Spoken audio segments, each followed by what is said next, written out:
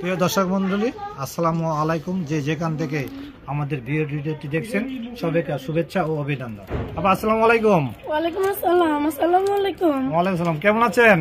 এই তো আল্লাহ রাখছে কোন রকম আছে। আপনার নাম কি? ময়ূরী। হ্যাঁ, আপনি কি করেন? এই তো ভাই আরেকজনের বাড়িতে টেলার্স এর কাজ করি। আর নাম তো ময়ূরী ময়ূর মধ্যে আকাশে করেন না কি? আকাশে উঠবো কীভাবে? আকাশে উঠতে পারলে কি আর প্রতিবেদন আসতাম? আহ, আপনি কি কারণে প্রতিবেদন আসতে হলো? এই যে আসছি বাবা নাই ফ্যামিলিতে বড় ভাই নাই। মা আছে বয়স হয়ে গেছে বৃদ্ধ ছোট একটা বোন আছে তাদেরকে নিয়ে আমার দিনকাল খুব কষ্টে যাইতেছে।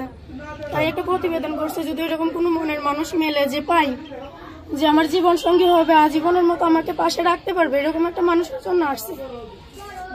আপনি ইয়ে, কি কাজ করলেন বললেন? আমি টেলার্সের কাজ করি আরেকজনের বাড়িতে। আপনার আব্বা মা কি হয়েছে? আমার বাবা মারা গেছে মা আছে বয়স হয়ে গেছে বৃদ্ধ। বড় ভাই নাই? না বড় ভাই নাই। আপনার উপরে সংসার চলে? চলে কোন রকম কষ্টে চলতেছি তাই প্রতিবেদন করছি। তো কয় টাকা পান আপনি? ওই ক্লাসে কাজ করে? এই তো ভাই মাসে সাড়ে তিন হাজার টাকা। ও সাড়ে তিন হাজার টাকা ভাই সংসারে কতজন সদস্য?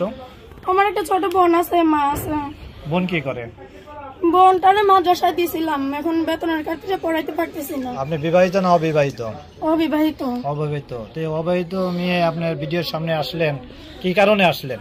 এখন তো কারও কাছে সাহায্য চালেন না? কোনো বিয়ে বিয়ের জন্য আসলেন? না ভাইয়া সাহায্যের জন্য আসলে তো তুই একজনের সাহায্য করবে। আমি তো আর আমার আজীবনের জন্য জীবন সঙ্গী পাবো না।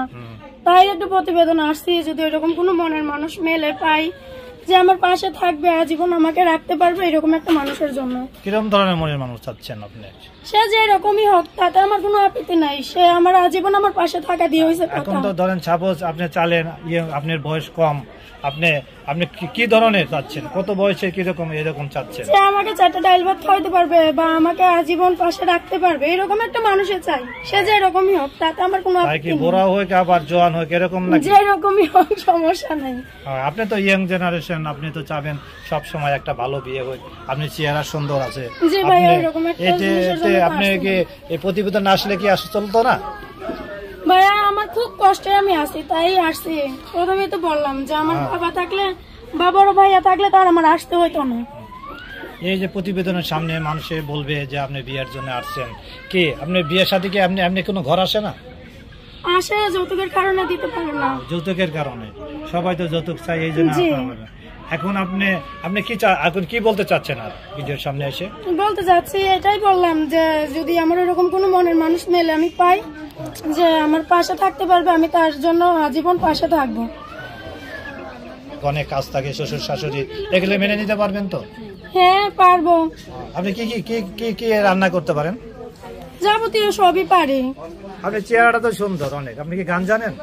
না না গান জানি না চেহারা সুন্দর থাকলে কি হবে? মনের মানুষটার এরকম তো পাইতেছি না। তা আপনি বয়স কত হয়েছে? এই তো প্রায় উনিশ। উনিশ হয়ে গেছে অবশ্যই উনি যে কোনো হয়ে আমার বিয়ে, বিয়ের বয়স হয়ে গেছে। কারণ প্রিয় দর্শক মন্ডলী জানতে পারলেন আবার আবার অনেক কষ্ট। উনি তার মুখে তার তার বাবা নাই, তার ছোট একটি বোন, মা নিয়ে অনেক কষ্ট আছে। তিনি টেলারিং কাজ করে টেলারিং কাজ করে যে টাকাটা পায়, এই জামায় দ্রব্যমূল্যের দাম অনেক বেশি। তাই উনি চলাফেরা করতে পারে না। উনি একজন চাচ্ছে, এমন একটা ধরনের ছেলে চাচ্ছে, তারে আপন করে নিবে এবং যে আপনি যে তার, তারে যে বিয়ে করতে চাচ্ছেন তারে তো আপনি বিয়ে করলে তো দেখবে। অবশ্যই আপনি ভালো ব্যবহার করবেন এই করবেন দেখবে। তারও তো সংসার আছে। জি। তে- তে কি মেনে নিতে পারবেন? হ্যাঁ পারব। সে আমার পাশে থাকলে আমি তার পাশে আজীবনই থাকার চেষ্টা করব বা পারব। মানুষ মনে করেন যে একটা একটা মেয়ে চায় যে একটা মানুষের ঘরে আজীবনই থাকতে। কারণ একটা মেয়ে তার চায় না যে আমার বিবাহিতরা বারবার হইতে যাক। কারণ আমারও তো একটা মান সম্মান আছে। মানুষ মেলে বা আমাকে দেখে কারও ময়া দেওয়া হয়, ঠিক আছে? বা আমার কথা শুনে যদি কারও ভালো লাগে, তাহলে আমার পাশে দাঁড়াইলে ইনশাল্লাহ আমি খুশি হব হ্যাঁ? বা আমি তার পাশে আজীবন থাকার চেষ্টা করব।